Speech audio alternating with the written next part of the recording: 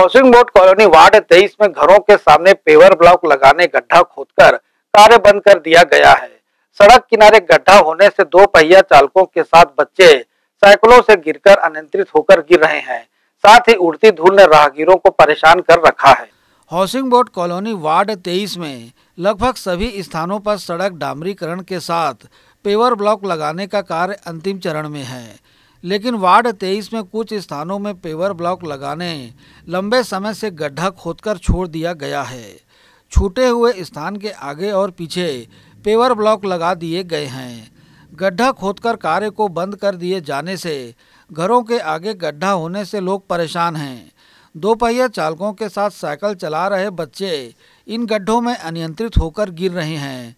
साथ ही गड्ढे के कारण निकली मट्टी से हर वक्त उड़ती धूल ने स्थानीय रहवासियों को परेशान कर रखा है। स्थानीय लोगों ने इस पर अपनी प्रतिक्रिया दी। दीपावली के समय से ही गड्ढा करके छोड़ दिए हैं, जिसकी वजह से काफ़ी दुर्घटनाएँ भी हुई हैं। ये पार्षदों की परिसमन की वजह से नहीं हो पा रहा है। वार्ड क्रमांक सब चेंज हो गए हैं। कुछ सड़कों का अगल बगल हो गया पार्षद और नगर निगम की उदासीनता और ठेकेदार के कारण से ये कार्य नहीं हो पा रही है और बहुत ज़्यादा दुर्घटनाएँ यहाँ हुई है। बच्चे साइकिल से भी बहुत गिरे हैं और डस्ट इतना हो रहा है कि सबको फेफड़े में बीमारियाँ, सांस लेने में तकलीफ़ हो रही है।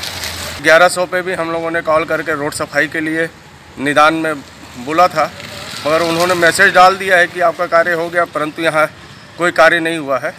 आपको जैसा दिख रहा होगा यहाँ पे। दिवाली के आसपास से काम चालू किया गया था लेकिन क्या है काम पार्षदों की वजह से रुक गई है और यहाँ काम का विकास बिल्कुल नहीं हो रहा है और चुनाव के समय हमको वोट दो वोट दो करके आते हैं मांगने के लिए लेकिन जब चुनाव जीत जाते हैं तो उसके बाद से बिल्कुल ध्यान नहीं देते हैं और रोड में काफ़ी डस्ट है हासिम रोड नामी एरिया है।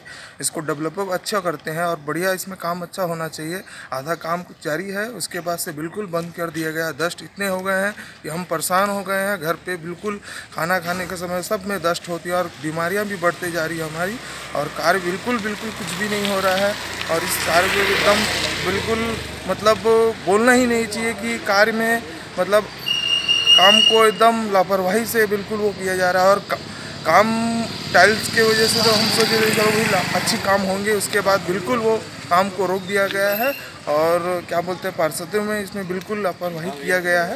और काम जारी जारी करेंगे और अच्छे से काम होने चाहिए हमारा यही संदेश है। और इसमें कहीं इनकार नहीं है कि निगम ने जो विकास के ऐतिहासिक काम हाउसिंग बोर्ड में अभी किए हैं वो पिछले पंद्रह बीस सालों में या कहिए कि हाउसिंग बोर्ड के जन्म से आज तक नहीं हुए। इसमें कहीं इनकार नहीं है। लेकिन ये भी उतनी सच्चाई है कि कुछ एक जगहों पे अभी कई जगहों पे तो अच्छा विकास चल रहा है लेकिन कुछ जगहों पे अचानक बिना कारणवश ये अधूरे काम छोड़ दिए गए।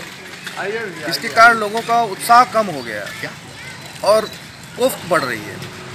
निगम चाहे तो ये थोड़ी सी इसमें अगर ध्यान दिया जाए तो ये तो अच्छी खासी ये जो है रोड बन रही है।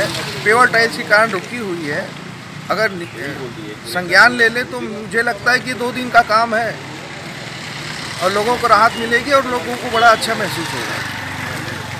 मैं निगम से, प्रशासन से, महापौर से चाहता हूँ कि वे अपनी जागरूकता दिखा के इस काम को अविलंब शुरू करें। मुझे लगता है कि दो दिन में ठीक हो जाएगा। और सारे लोग यहाँ धन्यवाद ज्ञापित करने के लिए नगर निगम कार्यालय तक जाएँगे। वार्ड पच्चीस में है, ये कई एक साल हो गया, रोड, मैंने रोड बन गया, साइड के टाइल्स नहीं लग रहे, गड्ढे उड्ढे करके रखे हैं, बच्चों लोग भी गिरते रहते हैं, पता नहीं कब बनेगा। नगर निगम से हम चाहते हैं कि उनसे निवेदन है कि जल्द से जल्द इसको बनवाए।